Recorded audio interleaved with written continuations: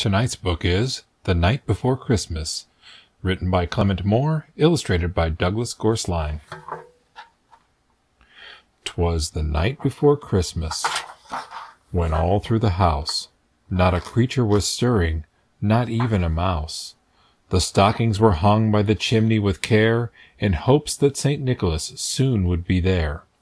The children were nestled all snug in their beds, while visions of sugar plums danced in their heads and mamma in her kerchief and I in my cap had just settled down for a long winter's nap, when out on the lawn there arose such a clatter. I sprang from my bed to see what was the matter. Away to the window I flew like a flash, tore open the shutters, and threw up the sash. The moon on the breast of the new fallen snow gave luster of midday to objects below. But when to what to my wondering eyes should appear but a miniature sleigh and eight tiny reindeer, with a little old driver so lively and quick, I knew in a moment it must be Saint Nick. More rapid than eagles his coursers they came, and he whistled and shouted and called them by name. Now Dasher, now Dancer, now Prancer and Vixen, on Comet, on Cupid, on Donder and Blitzen. To the top of the porch, to the top of the wall, now dash away, dash away, dash away all.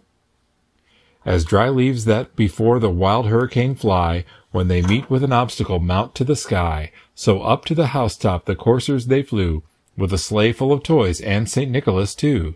And then in a twinkling I heard on the roof the prancing and pawing of each little hoof. As I drew in my head and was turning around, down the chimney St. Nicholas came with a bound. He was dressed all in fur from his head to his foot, and his clothes were all tarnished with ashes and soot. A bundle of toys he flung on his back, and he looked like a peddler just opening his pack. His eyes, how they twinkled, his dimples, how merry. His cheeks were like roses, his nose like a cherry. His droll little mouth was drawn up like a bow, and the beard on his chin was as white as the snow.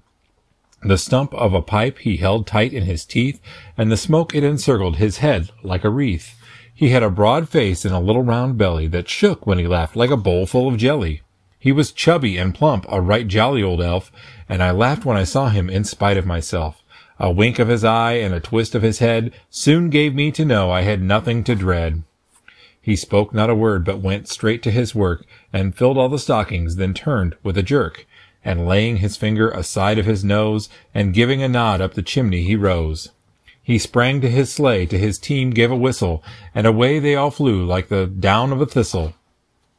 But I heard him exclaim as he drove out of sight, Happy Christmas to all, and to all a good night.